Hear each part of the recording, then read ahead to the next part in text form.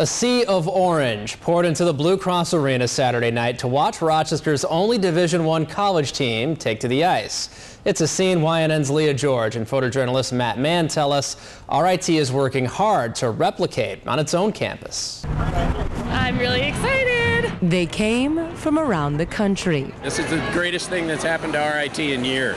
Having RIT Division One hockey making a name for ourselves. We're doing great things. We got free t-shirts over here.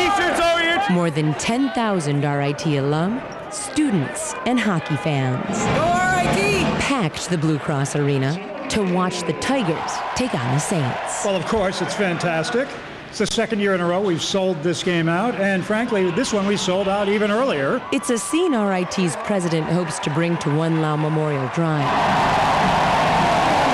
RIT's a year into its Power Play fundraising campaign to build a state of the art ice arena that would seat twice as many fans as its current Ritter Arena. Right now, all of our games are sellouts at Ritter, and we have many people won't even come in from the community because when they get there, the games are sold out.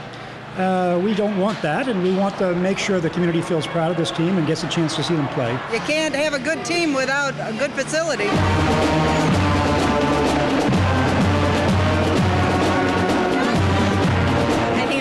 Rochester, great for the city, great for RIT, and great for hockey fans of all ages. President Destler says so far RIT has raised 3 million of its $15 million goal. Frankly, we have some things in the works that uh, we're hopeful we can announce in the next month or so. Destler and trustees are guardedly optimistic that ground for the Tigers' new ice arena could be broken in fall. It's going to be huge. It's going to put RIT much more on the national stage than it has been. Leah George, YNN.